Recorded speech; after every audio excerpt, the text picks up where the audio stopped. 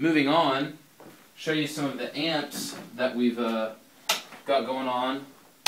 Uh, here we've got uh, Orange uh, Rockerverb uh, 30. Uh, it's a 212. We've been using that a little bit. Um, we've got Bad Cat Classic Cat down here that reasons for some of the cleaner sounds on the record. Um, then we've got, again, Benji loaned us his uh, Bad Cat Cub HR amp. Uh, right here, this guy, it's beautiful. We've been using it a lot too. Sounds fantastic. Um, just crank it all the way up. Uh, here's Luke's uh, Vox AC30, using that a little bit. And then finally, this is where the heart and soul of the record is. Remember that guitar, that Silvertone I told you about earlier? You plug that in to this Mesa, bam.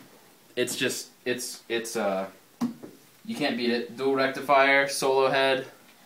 It's pretty much the only amp we use so far. So, um, that's pretty much what we've got going on here for the guitars and the amps. And, uh, yeah, we'll, uh, we'll be done with this puppy pretty soon, so.